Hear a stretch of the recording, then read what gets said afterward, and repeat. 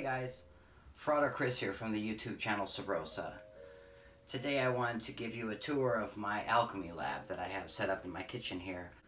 So one of the main pieces of my my kitchen alchemy setup is my is my distillation set here. So this is a this is a vacuum distillation set and this is used for doing fractional distillation. So you can see here I have this receiving cow with three different uh, with three different reception flasks. And this and in this way we can we can separate things by the by the the boiling point of the different molecules. And you could separate separate out say like water from alcohol or with with fractional distillation you can separate out several several uh, different compounds. Uh, this is my round bottom flask here and I have a glass funnel that I use to, to put the material in into the round bottom flask here. Uh, this is called a heating and stirring mantle, and this this operates using uh, a magnet and and heat, and so this stirs and heats uh, a liquid.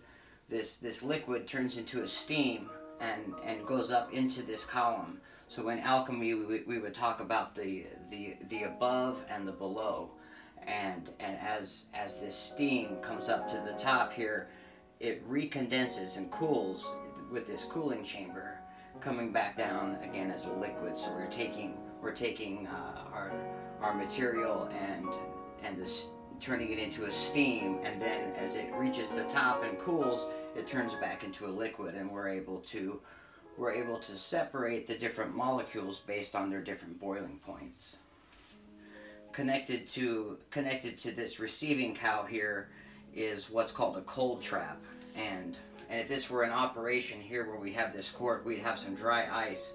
And the function of the cold trap is to keep the is to keep the pump cool. So we're gonna run we would run the whole operation under a vacuum and to keep the vacuum pump cool we would use this we would use this cold trap and that just prevents any moisture from getting into the pump and it also keeps keeps it cooler. And so any moisture that comes down immediately freezes to the bottom here instead of going into the pump. And also keeps, because the, the cooler a vacuum pump runs, the more efficient it would run. But when I, when I take out the receiving flasks, if it's a thicker material, uh, it's very helpful to have one of these one of these little tripods and you can can set your receiving flask right in the tripod and you could use like a heat gun or whatever you needed to do to get the material back out of your receiving flask. So it's good to have an extra one of those. Uh, these are just standard lab stands here with the clamps and uh, all these connections are 2440 ground glass and I'm using metal Keck clips. I had a plastic uh, Keck clip here and it melted so I, re I replaced all those and I replaced all these lines with a with a, a very heavy hose that won't uh, that won't be pinched uh, under under pressure. So this is the uh, this is the uh, distillation apparatus here. So uh, pretty much all alchemy labs would have some sort of distillation setup. It could be a simple distillation setup or it could be more more complex like this and a lot of alchemy labs have a much more complex system than I have here. Uh, to cool this, to cool this chamber here, I have a, I have a bucket over here, and this is, uh, this is my chiller bucket where I, I have, I'll keep ice and cold water in this bucket to the left, and, and that will enable me to, uh, to keep this, keep this as cool as possible, and, and that's what helps that steam turn back into a liquid. On the left, I have my magnetic stir plate, uh, with my 2000 milliliter Erlenmeyer flask and that operates on the same principle as the um, as the heating and stirring mantle where you've got um, an electromagnet inside and you take a small magnet that looks like a it looks like a white pill basically and you take that magnet and you put it in inside the flask with your liquid and that will stir your liquid for you. Um, next to the Erlenmeyer flask here I have a couple of books. This is a really great book organic laboratory techniques, and this this just goes through some of the different um, some of the different procedures to help you help you with different boiling points and um, and how to clean and take care of your equipment. I also have copies of of PiHKAL and TiHKAL, which are written by Anne and Alexander Shulgin. It's really uh, some fascinating stuff. I have my um, my microscope here, and I've got a slide where I've got some plant crystals I was looking at. Um, this is uh, this is one of my coffee makers. This is uh, this is called a siphon brewer, and this is a Hario siphon brewer. And basically, how this works is uh, you you you put water in here, and you light the burner here, and you put coffee in here with a filter that sits in the middle, and as and as as you boil the water, it goes up the stem. It goes in here with the coffee and and brews brews the uh, grounds in the water.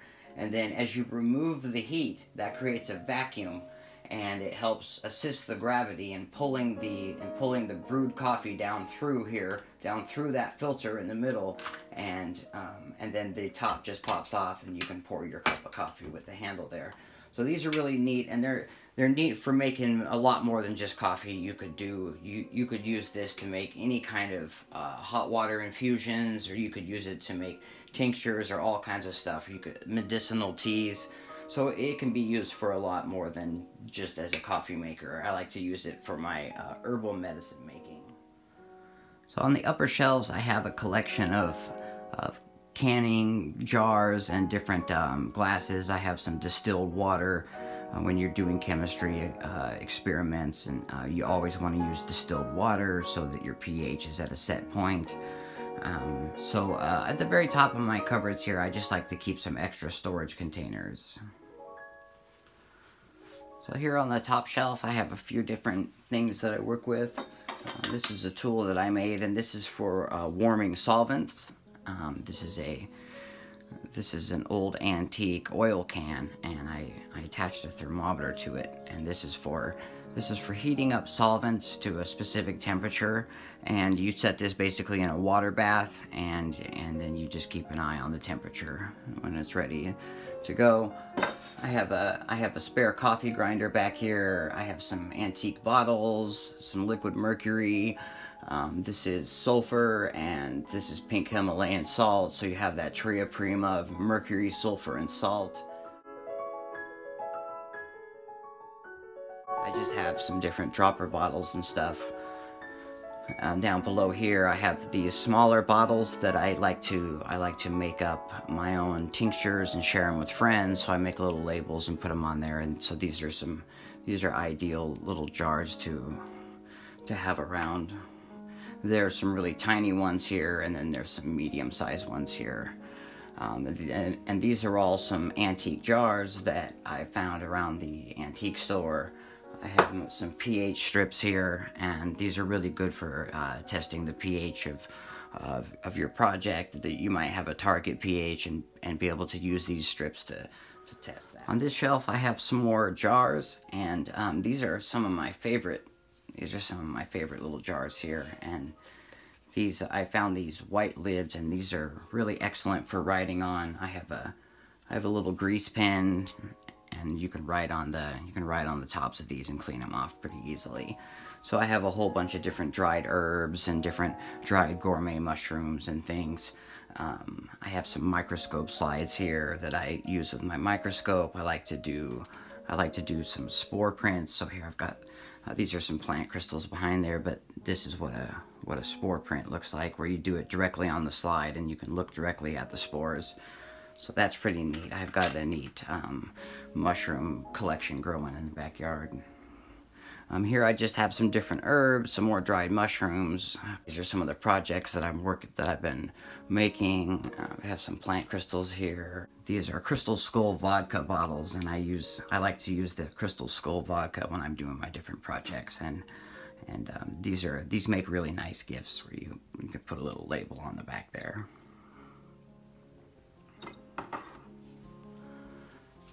Up here on this shelf, I have a few mortar and pestle um, I have some digital scales, so when I'm adding different um, when I'm adding different ingredients into my flask, I can weigh them out first. A lot of times that they go by weight. Um, I have a couple really neat jars here. Um, and these are really fantastic for making uh, tinctures with because um, they're an opaque jar, so they don't let any light in. So oftentimes when you'll you'll read uh, instructions on how to make a tincture, it will say it will say keep this in a in a warm dark place or keep this in a cool dark place. So just depending on which one, then you can use these and that keeps the sunlight out and just remember to shake it every day. And also I have a, a white grease pen that I can write instructions on or keep track of how many days it's been. And then up on the top right, I just have some different various tools, some kitchen timers, some high vacuum grease, some filters, and uh, just, you know, uh, like Phillips screwdrivers for these different connections on the, on the distillation apparatus.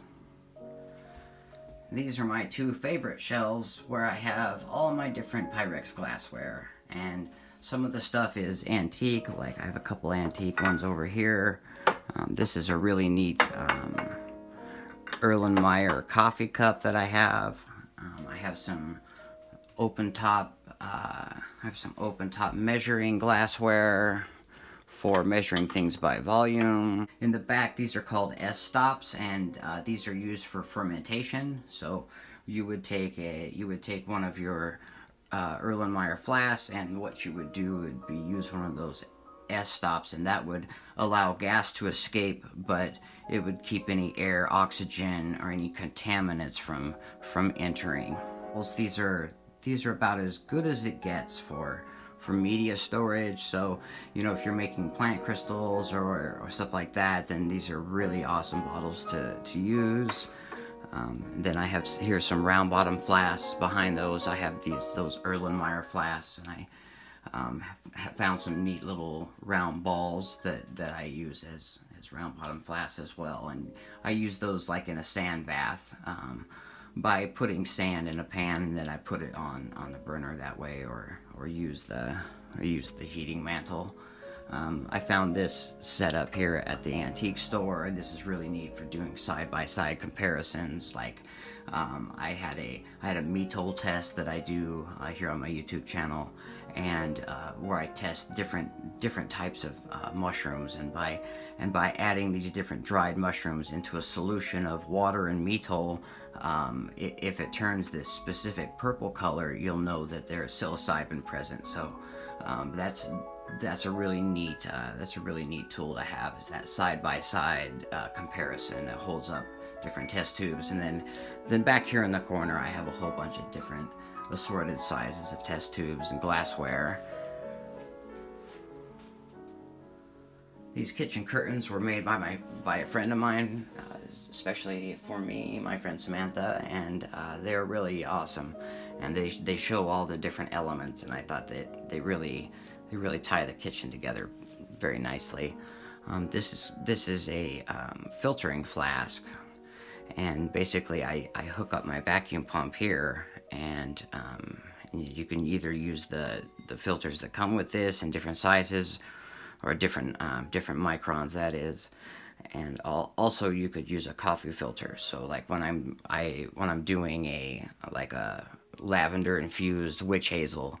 Um, this is a really great tool um, to gets the gets the filtering job done in in seconds instead of hours.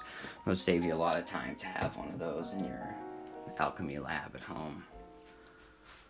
Um, over here in this jar I've got um, an Oregon reishi mushroom that I have drying and, and down below in the cupboards. I have several different projects in different states of completion. I, I like think it's good to have a little bit of artwork in the in in your lab. It's common for alchemists to have different alchemical pieces of artwork in their lab. Uh, this is a um, this is a blotter art print. Uh, from uh, an artist in, in New York, Rafty, and this is signed by Hamilton Morris. He drew this drew this little molecule there.